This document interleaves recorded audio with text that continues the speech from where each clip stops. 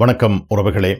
Corona பேரிடர் காலத்தில் நாங்கள் வாழ்ந்து கொண்டிருக்கின்றோம். இப்பொழுது உலகெங்கும் மிக உச்சமாக பேசப்படுகின்ற ஒரு விடயம் முக்கியமாக கருதப்படுகின்ற ஒரு விடயம் கொரோனா தடுப்பூசி.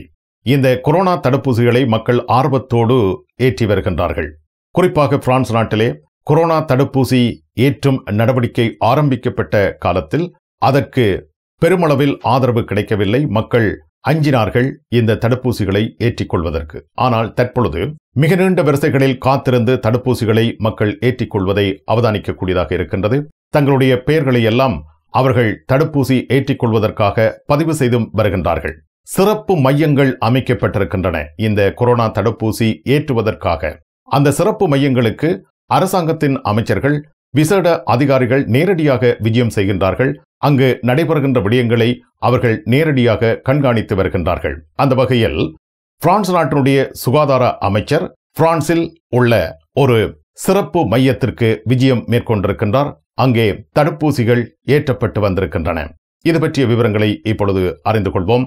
வணக்கம் அருண் சண்முலிங்கம் அவர்களே. வணக்கம் ராஜனண்ணா தடுப்பூசி ஏற்றும் நடவடிக்கைகள் பிரான்ஸ் நாட்டில் மிக வேகமாக நடைபெற்று வருகின்றன. இது பற்றிய விவரங்களை அறிய தாருங்கள். பிரான்சில் கொரோனா தடுப்பூசி ஏற்றும் நடவடிக்கை வேகப்படுத்தப்பட்டுள்ளது. விசேட நிலையங்கள் இதற்காக அமைக்கப்பட்டு பணிகள் நடைபெற்று வருகின்றன. பிரான்ஸ் சுகாதார அமைச்சர் ஒலிவிய வேகம் கிரோம் நகரில் கொரோனா சிகிச்சை நிலையமாக திறந்து வைக்கப்பட்ட பல்கலைக்கழக மருத்துவமனைக்கு ஜனவரி பதினெட்டாம் தேதி திங்கட்கிழமை விஜயம் செய்தார். கிரனோபிள் பல்கலைக்கழக மருத்துவ பீட மாணவர்களின் உதவியுடன் இயங்கும் இந்த நிலையத்தில் எழுபத்தைந்து வயதுக்கு மேற்பட்டவர்களுக்கு தடுப்பூசிகள் ஏற்றப்பட்டுள்ளன. கொரோனா சிகிச்சை மையத்துக்கு வருகை தந்து தடுப்பூசி ஏற்றி கொண்டவர்களுக்கு சுகாதார அமைச்சர் நன்றி தெரிவித்துள்ளார். தடுப்பூசிகள் தற்பொழுது களஞ்சியப்படுத்தப்பட்டிருக்கவில்லை என அறிவிக்கப்பட்டிருக்கிறது.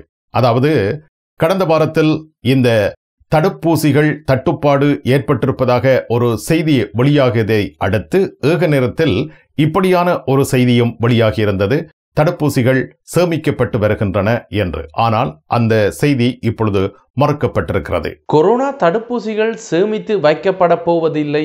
கையிருப்பில் உள்ளவை யாவும் மக்களுக்கு வழங்கப்படும் என சுகாதார திணைக்கள இல்துஃபோன்ஸ் தலைமை அதிகாரி தெரிவித்துள்ளார். களஞ்சிய சாலைகளில் தடுப்பூசிகள் சேமிக்கப்படுகின்றன என்ற தவறான செய்தி பரவியுள்ளதை அடுத்து இந்த விடயத்தை சுகாதார திணைக்கள இல்து அதிகாரி தெரிவித்துள்ளார். இல்து பிரான்சில் இதுவரை எழுபத்தி ஏழாயிரம் பேருக்கு தடுப்பூசிகள் ஏற்றப்பட்டுள்ளன. இந்த வாரத்தில் மேலும் எண்பதாயிரம் பேருக்கு தடுப்பூசிகள் ஏற்றப்பட உள்ளன. மேலும் இல்து பிரான்ஸ் மாகாணத்தில் உள்ள அறுநூறு மிதியோர் இல்லங்களில் உள்ள இருபதனாயிரம் மூத்தோர்களுக்கு தடுப்பூசிகள் ஏற்றப்பட இருப்பதாகவும் சுகாதார திணைக்கள இல்து பிரான்ஸ் தலைமை அதிகாரி ஒரலியான் ருசோ தெரிவித்துள்ளார். பிரான்சில் மாணவர்களுக்கு கொரோனா தொற்று ஏற்பட்டதன் காரணமாக பாடசாலை ஒன்று மூடப்பட்டிருக்கிறது. லுவாஸ் மாவட்டத்தில் உள்ள பிளேசி வெல்வில் பகுதியில் அமைந்துள்ள பாடசாலை கொரோனா தொற்று காரணமாக மூடப்பட்டுள்ளது. இந்த பாடசாலையில் இருபத்தி ஏழு பேருக்கு கொரோனா தொற்று உறுதி செய்யப்பட்டதை அடுத்து இந்த பாடசாலை மூடப்பட்டுள்ளது. இருபத்தி ரெண்டு மாணவர்களும் ஐந்து பணியாளர்களும் கொரோனா தொற்றால் இந்த பாடசாலையில்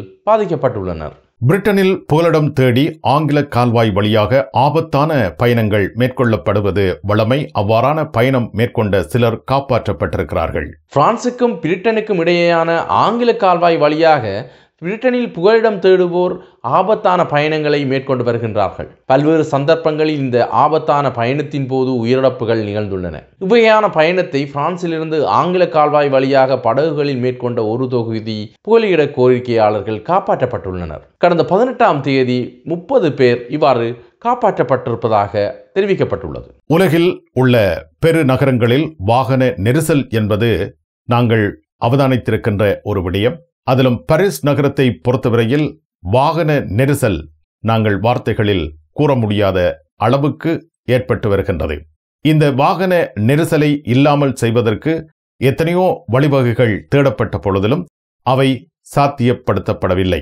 தற்பொழுது பறக்கும் டாக்ஸிகளை பாவனைக்கு கொண்டு வருவதற்கு திட்டமிடப்படுகிறது. பரிசில் வாகன போக்குவரத்து நெரிசல் நாளுக்கு நாள் அதிகரித்து வரும் நிலையில் பறக்கும் டாக்ஸிகள் பாவனைக்கு கொண்டு வரப்பட உள்ளதாக தெரிவிக்கப்பட்டுள்ளது. பரிசிற்கும் ருவாசி விமான நிலையத்துக்கும் இடையில் இந்த பறக்கும் டாக்ஸி பாவனைக்கு வரவுள்ளது. இரண்டாயிரத்தி முப்பதாம் ஆண்டளவில் பறக்கும் டாக்ஸி சேவை நடைபெறும் என அறிவிக்கப்பட்டுள்ளது. ரெண்டாயிரத்தி இருபத்தி நான்காம் ஆண்டு பாரிஸிலும் பாரிஸில் புறநகர பகுதிகளை உள்ளடக்கிய பகுதிகளில் நடைபெறும் ஒலிம்பிக் போட்டிகளின் போது இந்த டாக்ஸிகள் அறிமுகப்படுத்தப்படும் என்றும் தெரிவிக்கப்பட்டுள்ளது. கொரோனா பேரிடர் ஏற்பட்ட காலத்தில் இருந்து தற்பொழுது வரை பிரான்ஸ் நாட்டில் எழுபதாயிரத்து அறுநூற்று எண்பத்தாறு பேர் உயிரிழந்திருக்கின்றார்கள்.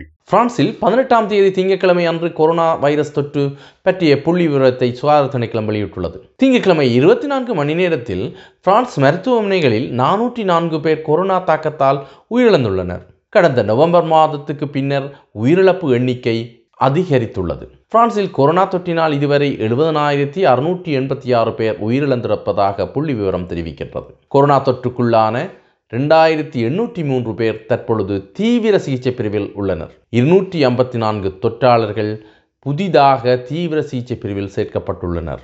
இருபத்தி ஐயாயிரத்தி ஐநூற்றி எண்பத்தி நான்கு தொற்றாளர்கள் தற்பொழுது வைத்தியமனைகளில் சிகிச்சை பெற்று வருகின்றனர். இதில் பதினெட்டாம் தேதி இருபத்தி நான்கு மணி நேரத்தில் ஆயிரத்தி அறுநூற்றி அறுபத்தி ஆறு பேர் புதிதாக சேர்க்கப்பட்டுள்ளனர். பிரான்சில் பதினெட்டாம் தேதி இருபத்தி நான்கு மணி நேரத்தில் மூவாயிரத்தி எழுநூற்றி முப்பத்தி ஆறு பேர் தொற்றாளர்களாக அடையாளம் காணப்பட்டுள்ளனர். வழமையாக திங்கட்கிழமைகளில் இந்த எண்ணிக்கை குறைவாகவே காணப்படும். சனி ஞாயிறு தினங்களில் அநேகமான பரிசோதனை நிலையங்கள் மூடப்பட்டிருப்பதால் பரிசோதனை நடவடிக்கைகள் நடைபெறுவதில்லை. ஆயிரத்தி தொள்ளாயிரத்தி இருபத்தி ஒரு தொற்று இடங்கள் அடையாளம் காணப்பட்டுள்ளன. இதில் எழுநூற்றி இருபத்தி ஐந்து முதியோர் இல்லங்கள் என்பது குறிப்பிடத்தக்கது. நூறு மாவட்டங்களில் கொரோனா தொற்று நிலவுவதாக அறிவிக்கப்பட்டு சுகாதார திணைக்களம் தனது நடவடிக்கைகளை இந்த பகுதிகளில் மேற்கொண்டு வருகின்றது. மிக்க நன்றி அருண் சண்முலிங்கம் அவர்களே. மீண்டும் சந்திப்போம். வணக்கம். நன்றி வணக்கம் ராஜனண்ணா